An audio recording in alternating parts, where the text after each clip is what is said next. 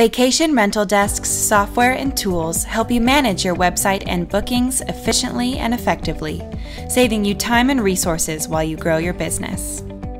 When you log into your account, your reservation dashboard shows you the most important information about your rental at a glance, where you can quickly view new orders and payments as they come in.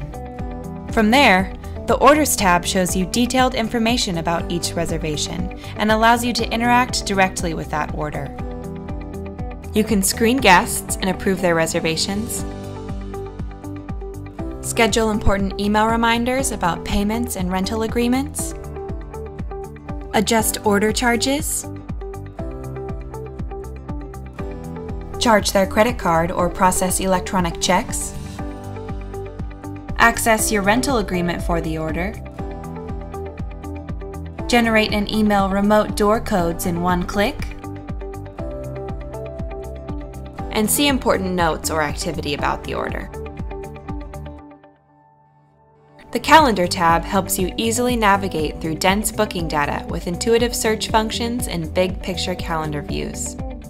See availability by property or section by week or month. Easily sync up your calendars from VRBO, Airbnb, Flipkey, and others, and never double book a date again.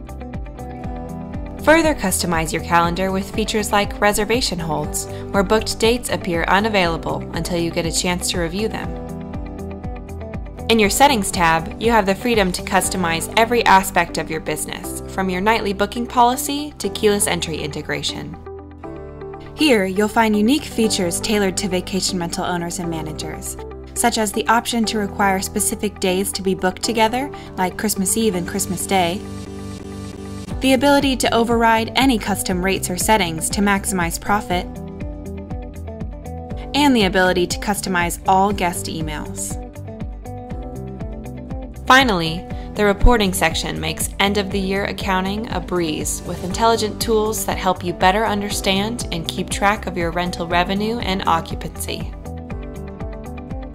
Sign up today at vacationrentaldesk.com to take reservations online and manage your rental in one easy to use account.